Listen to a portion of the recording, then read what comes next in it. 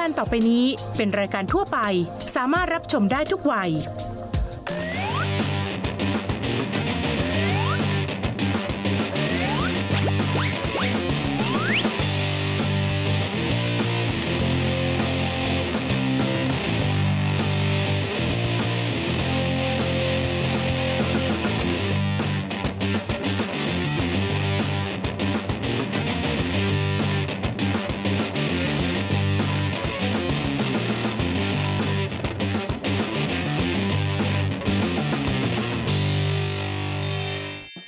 สวัสดีค่ะ สวัสดีครับ ขอต้อนรับเข้าสู่รายการ Cooking Guru ค่ะ ทุกเช้าวันอังคาร เวลา 9 นาฬิกา 40 นาทีทางช่อง 8 กดเลข 27 นะคะ ครับผมใครที่ชอบกินชอบทำอาหารนะครับ ห้ามพลาดเด็ดขาดเลยนะครับ เพราะว่าคุณผู้ชมนะครับ จะได้ไอเดียในการทำอาหารมากมายเลยนะครับ ไม่ว่าจะเป็นเทคนิคการปรุงนะครับ หรือว่าการตกแต่งต่างๆเนี่ยในฉบับของกูรูมืออาชีพเลยครบถ้วนทั้งเมนูคาวและเมนูหวานเลยนะครับเราจะบอกแบบทุกอย่างไม่มีหมกเม็ดเลยแหละครับ วันนี้นะคะกูรูของเรามีอาหารอร่อยๆมาเสิร์ฟอีกเช่นเคย แต่จะเป็นเมนูอะไรนะคะ ก่อนอื่นเรามาเปิดฟู้ดดิกชันนารีกันก่อนดีกว่าค่ะ วัตถุดิบหลักของเราวันนี้เป็นตัว P นะคะ คือพอกนั่นเองค่ะ หรือเนื้อหมูค่ะสำหรับเนื้อหมูนะครับคุณผู้ชมต้องบอกว่าเป็นวัตถุดิบที่ทุกคนรู้จักกันดีอยู่แล้วนะครับและสำหรับวันนี้นะครับเราจะใช้ส่วนของหมูบดครับแต่หลายคนก็เอะใจนะหมูบดเนี่ยจริงๆ เขาต้องมีส่วนเนื้อส่วนมันอะไรยังไงบ้างครับอาจารย์ ปกติแล้วถ้าพูดถึงหมูบดหรือหมูสับเนี่ยนะมันขึ้นอยู่กับขั้นตอนการทำด้วยหมูบดก็คือเอาเข้าเครื่องบด หมูสับคือใช้มือสับ ซึ่งถ้าสมมุติว่าคุณไปซื้อตามซูเปอร์มาร์เก็ตคุณสามารถเลือกได้ว่า ขอสันในนะ ไม่เอามันเลย ถ้าเกิดว่าไปตามซูเปอร์มาร์เก็ตหรือตามตลาดเขาจะมีเนื้อหมูบดไว้อยู่แล้วหมูบดเนื้อแดงอะเขาก็จะมีเนื้อหมูบดติดมันเนื้อหมูบดมันน้อยอะไรอย่างเงี้ยไว้อยู่แล้ว ซึ่งเขาก็ใช้เนื้อหมูส่วนต่างๆ ที่เขาเหลือจากการ trim อะอ๋อมาบดซึ่งราคามันจะไม่แพง แต่ถ้าเกิดว่าคุณบอกว่า request เลยว่าพี่ขอสันในล้วนนะ ไม่เอามันเลย เอาชิ้นนี้อะแน่นอนมันก็ราคาตามสันในแล้วเอาไปบดเขาก็จะมีบริการบดให้ซึ่งชอบมันมากมันน้อยไม่มีปัญหา แต่สิ่งหนึ่งที่ต้องคำนึงคือเรื่องความสะอาด โอ้เพสำราะคัญฉะนั้นเวลาดูเนี่ยก็ก็ระมัดระวังนิดนึง แล้วก็เดินไปดูนิดนึง ถ้าเขามีเริ่มมีสีเขียวแล้ว มีกลิ่นแปลกๆแล้ว อันนี้ไม่ดี ก็ไม่ต้องซื้อมา อ่าอันนี้ก็คือเป็นเทคนิคในการเลือกละกันค่ะนะครับหรือว่าถ้าคุณผู้ชมมีเขียงประจำใจก็โอเคสบายใจกันไปนะครับแต่พูดถึงวันนี้นะครับต้องบอกว่าเชฟประจวบนะครับเชฟกูรูของเรานะครับจะนำหมูบดเนี่ยมารังสรรค์เป็นถึง 2 เมนูด้วยกันนะครับเมนูที่1เนี่ยคุณเชฟจะทำสตูหมูบดกับมันฝรั่งนะคะ และเมนูที่ 2 เป็นพาสต้าหมูก้อนผัดพริกแห้งค่ะ รอติดตามชมกันนะคะ ตอนนี้อาจารย์นิสักมีเมนูเด็ดเรียกน้ำย่อยมาฝากคุณผู้ชมค่ะ คุณเชฟจะมาทำเมนูอะไรกันคะเป็นสตูหมูบดกับมันฝรั่ง เรามาดูกันดีกว่าค่ะว่าเพนเน่หรือพาสต้าผัดพริกแห้งของลุงเชฟที่ใส่กับหมูก้อนในหน้าตาน่ารับประทานขนาดไหน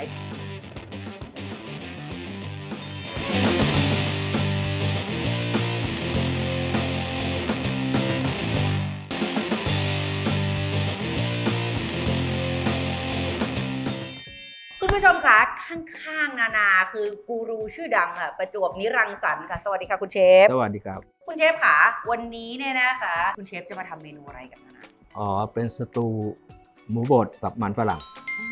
เพราะโจทย์ของเราคือหมูบดครับคุณเชฟก็เลยเอาหมูบดมาทำเป็นสตูปกติแล้วสตูเนี่ยที่เราเห็นนะก็จะเป็นเนื้อชิ้นโตๆฮะหมูอะชิ้นโตๆใช่ใช่ วันนี้เป็นหมูสับอะคะเหมือนกับเราทำมิตบอลอะ หนูอะรู้มาว่ามีดบอลหรือพวกหมูก้อนของคุณเชฟเนี่ยจะต้องมีวิธีการหมักวิธีการกะส่วนผสมที่ใส่ลงไปให้เนื้อมันยังฉ่ำแล้วก็อร่อยใช่ไหม ใช่ก็มีส่วนตรงนั้น เพราะว่าเราต้องทำให้เรากินแล้วมันไม่อะไรก็ไม่แข็งเกินไป ค่ะ มันก็จะมีความชุ่มของในตัวเนื้อหมูงั้นวันนี้เนื้อหมูที่เราเลือกใช้เป็นเนื้อหมูติดมันใช่ไหมคะคุคณรับเชฟครับหนูขออนุญาตใส่ให้เชฟนะครับเดี๋ยวคุณเชฟได้ขเลยยับได้เลยนะได้เลยเนื้อหมูติดมันนะคะ คุณเชฟบอกว่าวันนี้คุณเชฟปรุงรสแต่ไม่ได้ใช้เครื่องปรุงรสวุ่นวายคุณเชฟบอกว่าคุณเชฟใช้ผงหมักไก่ spicy big wing ตราโลโบครับโอ้โหคุณปกติแล้วเราเอามาหมักไก่นะเอามาโรยเฟรนช์ฟรายนะ วันนี้คุณเชฟเอามาหมัก meatball หรือหมูบดของเรานั่นเอง ใช้ประมาณครึ่งซองนะคะ สูตรนี้ วันนี้เนี่ยนะคะ เคล็ดลับของคุณเชฟเนี่ยนะคะ ในการหนึ่งเพิ่มให้เนื้อสัตว์ของเรา juicy ตลอดเวลาครับคือเกล็ดขนมปังค่ะ และจะเป็นอร่อยไปไม่ได้ แล้วใช้เกล็ดขนมปังชุบทอดตราโกกิไขมันต่ำช่วยให้เมนูของคุณน่ารับประทานยิ่งขึ้นค่ะ โกกินะจ๊ะ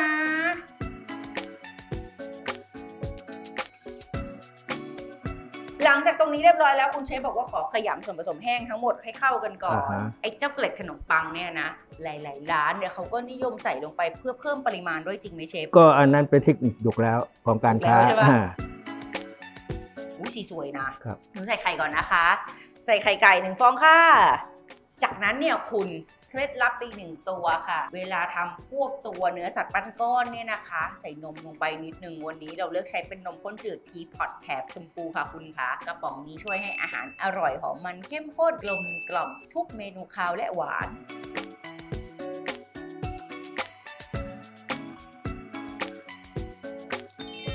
เราจะปั้นเป็นก้อนค่ะ อันนี้ก่อนที่เราจะเอาลงกระทะเนี่ยนานากับคุณเชฟเนี่ยชอบใช้วิธีนี้ตัวนานาเองนั่นแหละชอบ คือรู้สึกว่าเราจะสามารถแบ่งก้อนได้เท่า ๆกันทุกครั้ง ถูกต้อง บางครั้งเวลาเรากะด้วยมืออะค่ะก้อนเล็กก้อนใหญ่ก้อนเล็กก้อนใหญ่ ไม่ได้มีผลกับความน่ากินอย่างเดียว มันมีผลกับเรื่องการสุกของอาหารด้วยหลาย ๆ ครั้งเนี่ยเราเช็คใช่ไหมคะเราเช็คอุ้ยของชิ้นเล็กมันสุกแล้ว แต่ชิ้นใหญ่มันยังดิบอยู่แล้วหมูเนี่ยมันกินดิบไม่ได้นะคุณมันอันตรายคุณหูดับได้เลยนะ ถ้าเกิดว่าของของคุณชิ้นเท่า ๆ กันเวลาสุกมันก็จะปริเวลาใกล้ๆกันค่ะ แล้วก็จะปั้นก้อนนะคะ เป็นก้อนก้อนก้อนก้อนก้อนแล้วก็วางพักไว้หลังจากนั้นเนี่ยเราจะเอาเจ้าหมูก้อนของเราเนี่ยไปจี้ในกระทะ ซึ่งไอ้เจ้าหมูก้อนสูตรสไปซี่สูตรนี้เนี่ยนะคะจะเอามาทำเมนูแสนอร่อยถึงสองเมนู ก็คือ 1 เอามาทำสตูมันฝรั่งกับ2เนี่ยนะคะเอามาผัดพาสพาสต้า เอาล่ะค่ะ วันนี้เราจะจี่ตัวมีดบอลของเราคือเนื้อหมูก้อนของเราที่ปรุงรสแล้วเนี่ยนะคะ วันนี้ใช้เป็นน้ำมันรำข้าวตรามรกตค่ะคุณคะจะทอดก็ได้ผัดก็ได้ เขาสกัดจากรำข้าวและจมูกข้าวค่ะ อุดมไปด้วยวิตามินและสารต้านอนุมูลอิสระนะจ๊ะ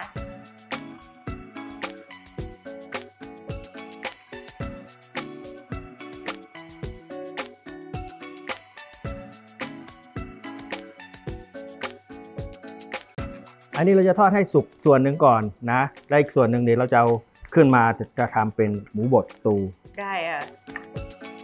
อันนี้สำหรับทำสตูนะ อันนี้สำหรับทำพาสต้ารากผักชีกระเทียมพริกไทยค่ะคุณขานิดเดียวคุณเชฟบอก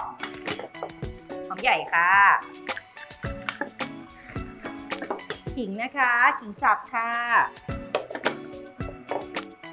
แล้วก็ซอสมะเขือเทศนะหนูใส่เลยนะซอสมะเขือเทศค่ะ ยี่ห้อที่ชอบ บางยี่ห้อออกเปรี้ยว บางยี่ห้อออกหวาน บางยี่ห้อออกเค็ม น้ำเลย น้ำเปล่านะคะโอ้ยกลิ่นขิงลอยขึ้นมาเลย ใส่หมูของเรากลับลงไป คุณเชฟบอกว่าอันเนี้ยสุกประมาณ 70%ใช่ไหมคะ เชฟใส่ลงไปให้ตัวน้ำสตูของเราเนี่ยมันดูดเข้าเข้าไปไปอยู่ในตัวหมู ระหว่างที่เราเคี่ยวหมู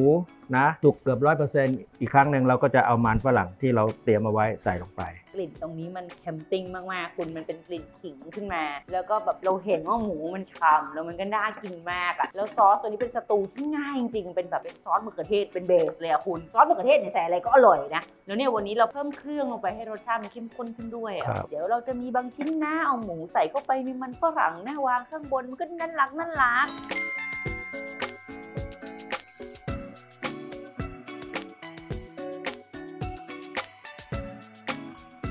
สุดยอดน้ำน้ำน้ำโอ้โหตาอะไหนๆก็ไหนๆแล้วคุณขามีข้าวก่อนี้ดี เลยเป็นข้าวเจ้าสุกผสม 5 สายพันธุ์ตราอาจารย์ยิ่งศักดิ์ห่อแบบนี้ คุณซื้อไปเสร็จใช่ไหมคะ ข้าวหนึ่งส่วนน้ำสองส่วนใช้หม้อหุงข้าวปกติได้เลยคุณจะหุงมาหน้าตาแบบนี้รับประทานคู่กับสตูหมูนะหูยอร่อยมาก อยากให้คุณลองเอาสูตรนี้ไปทำทานกันดูค่ะ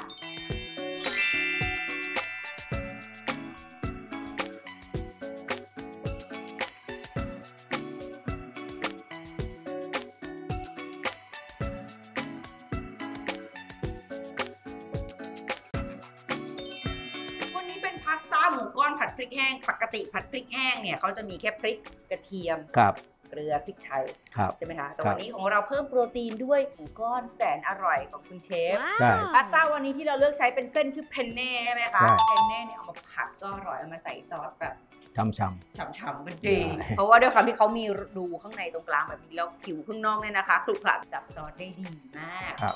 ขอใส่น้ำมันนิดนึงนะคะ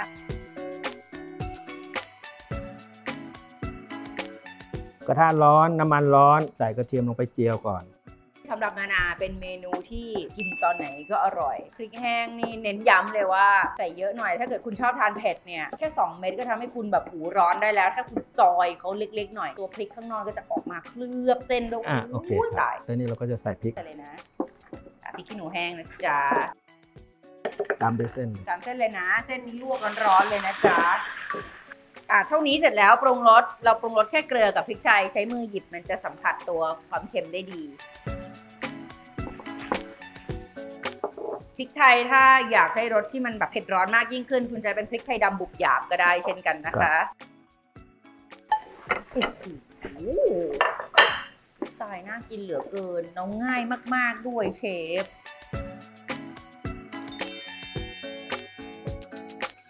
เมนูเป็นเมนูทำง่าย แล้วก็อร่อยแน่นอน ดมกลิ่นก็รู้แล้วว่าเชฟมันเป็นกลิ่นของพริกกับกระเทียมเวลาเจอแบบน้ำมันร้อนๆน่ะหนูใส่หมูนะเรียงหนำๆเลยนะข้างหนึงเลยนะคุณเชฟ จานนี้นี่สองคนกินอิ่มอะอ่าหลังจากใส่อย่างนี้เสร็จปุ๊บใช่ไหมคะโหระพาบางคนก็นิยมเอาใส่ลงไปในเส้นพาสต้าเราผัดซอยเลซอยยใส่ใช่แต่วันนี้พวกเราแค่วางเสริมคอนเทนต์เฉยๆว่าเรากินผักกันนะตายอาหารของเชฟวันนี้ สุดยอดจริงๆเลยค่ะคุณค่ะพาสต้าหมูก้อนแบบพริกแห้งเรียบร้อยแล้ว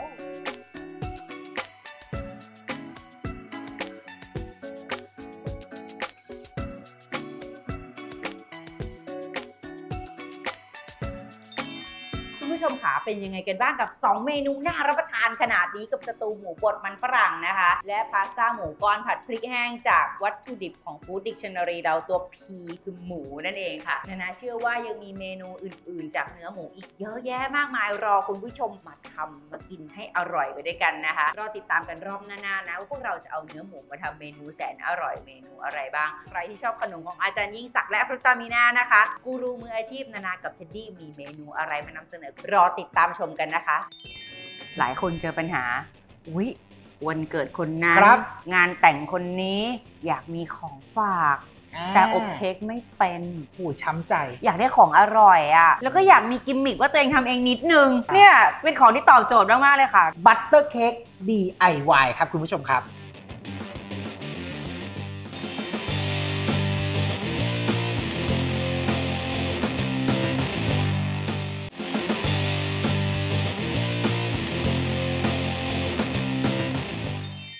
กลับมาช่วงนี้นะครับ กับช่วงกูรูมืออาชีพนะฮะคุณผู้ชมต้องบอกเลยว่าอันเนี้ยเป็นขนมของอาจารย์ยิ่งศักดิ์ที่แบบสุดยอดมาก ๆ ผมชอบมาก ๆ ด้วยไอเดียและคอนเซ็ปต์ butter cake DIY ครับคุณผู้ชมครับ หลายคนเจอปัญหา อุ๊ย วันเกิดคนนั้น ครับ งานแต่งคนนี้อยากมีของฝาก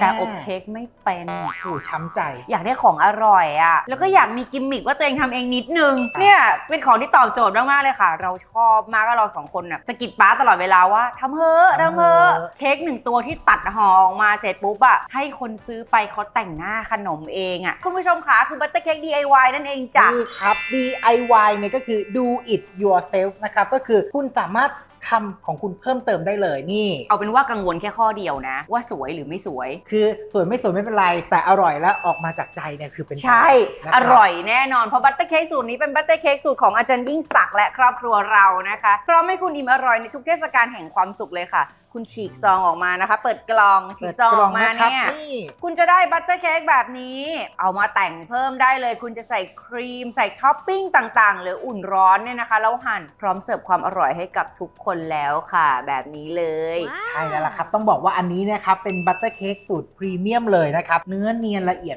มากๆสังเกตนะดูหน้าตัดนะฮะคุณผู้ชมแล้วมันมีความหอมนมเนยแล้วรอบนี้เนี่ยมาในขนาดนี้เลยนะครับพิมพ์ประมาณ 7 นิ้ว เวลาเอามาทำทานเนี่ยมันพอดีคนเลย กินง่ายเก็บง่ายแต่งก็ง่ายนะครับ อันเนี้ยสั่งเค้กบัตเตอร์เค้ก DIY ของอาจารย์ยิ่งศักดิ์มานะครับหนึ่งก้อนแบบนี้เฮ้ยช่วงนี้เทศกาลละเราจะแต่งหน้ายังไงง่ายๆได้ไหมครับ เรามี 2 ไอเดียมาฝากคุณผู้ชมค่ะ ไอเดียที่ 1 เป็นช่วงเทศกาลเนี่ยช่วงนี้เป็น Early Christmas ใช่ครับผมค่ะล่วงหน้าเดือนหนึ่งไปเลยค่ะคุณขามาเปิดด้วยขนมที่แต่งหน้าเป็นแบบคริสต์มาสนะ